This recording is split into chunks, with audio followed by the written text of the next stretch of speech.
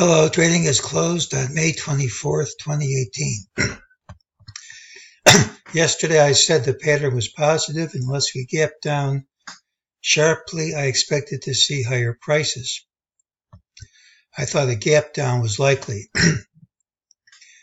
we got the gap. I have a standard rule that says if you gap and promptly move outside of the prior day's range, it's equivalent to gapping down sharply. Now, by promptly, I mean dropping outside of the range pretty much in a straight line. I think that's probably close enough, but if somebody wants to say it wasn't a straight line because of the swiggle and make the call a miss because I really cannot argue with them. But to me, gapping down and taking out these lows in a hurry invalidated the prior day's pattern. I had a target of 27, of 27 14 17 MeJT system. Said there was a 95% chance it would print today. It sure looked out of reach, but it did print. We looked for a pattern with an early low and a late high. We got that. Pattern has a tendency to close at the day's high. That didn't happen, but if we gap up tomorrow, as is likely, all is well. During the day, MeJT gave a buy signal. It just means there's a higher price target. It isn't a call for the next move necessarily. Said this drop was false. We got the higher prices. Now, gapping down, hitting these lows, not holding on to them is positive. It's invalidated if we gap, promptly take out this low rallying all day, not being able to take out these highs, particularly in this pattern, which has a tendency to close at its high, is negative, but the negativity is erased if we gap and probably take out today's high. I think that's most likely what's going to happen because this is a wall, this is a hole in the wall gap, and the vast majority of the times, not every time, this hole in the wall gap fills and fills promptly, usually within a day or a day and the following day's open after it occurs. We're looking for an opening and gap over this high, but there's resistance over the high. The daily pattern Friday and also Tuesday is one with an early low. Doesn't mean you won't gap up first. So the most likely thing, not a sure thing, but the most likely thing, I think, is we gap up, go over this high, find resistance, and reverse into roughly the bottom of the first hour of trading.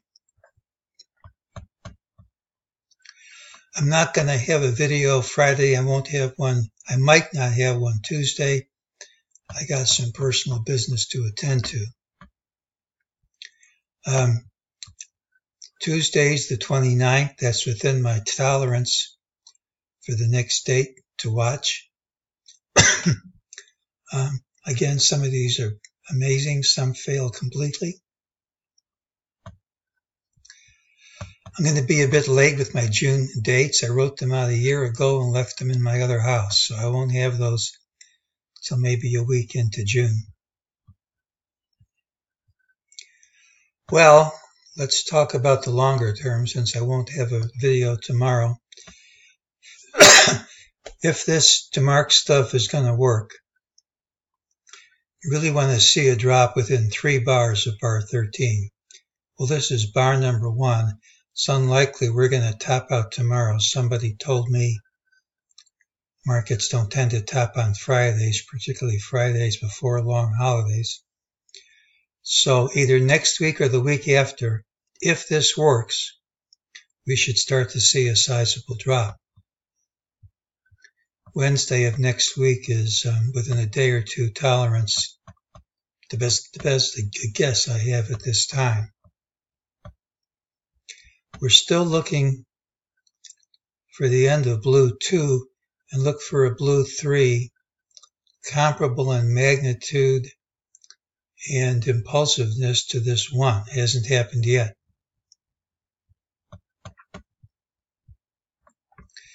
Because of this consolidation, I think the most likely thing is we're going to top out probably the middle of next week, maybe a percentage point over where we closed today.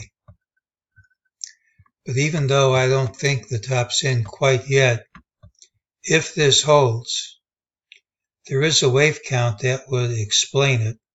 That would be one, be making the second wave here. That would be your W.